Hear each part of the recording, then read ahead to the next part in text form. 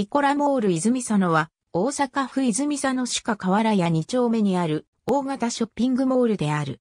かつては、ショッパーズモール泉佐野という名称であった。不動63号線沿線に存在する。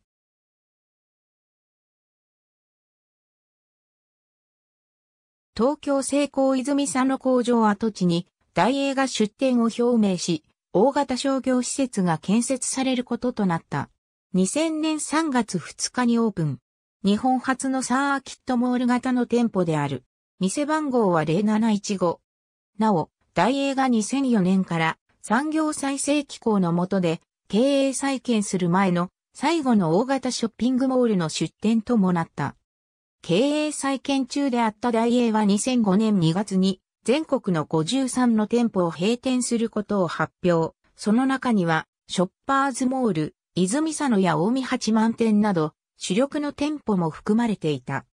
その後、2005年9月29日に発表された記者会見で再生計画で閉店予定だったショッパーズモール泉佐野はリストアップされていた11店舗とともに業績回復が見込まれると判断され閉店は免れた。その後、2006年に株式会社ザイマックスに譲渡され、当ショッピングモールに入居していた大英泉佐野店は2006年10月1日付でグルメシティに転換された。店自体の撤退ではなく、食品、日用品、服飾雑貨は継続して取り扱うものの、衣料品の取り扱いからは撤退した。店舗面積も約16,300平方メートルから3500平方メートルに大幅縮小された。2006年の年間売上目標は26億円。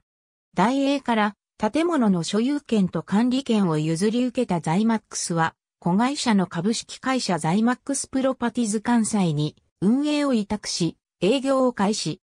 2014年5月には、中核テナントであったグルメシティが閉鎖。同年6月には、ショッパーズモール泉佐野から公募で決められた、イコラモール泉佐野に名称変更された。ありがとうございます。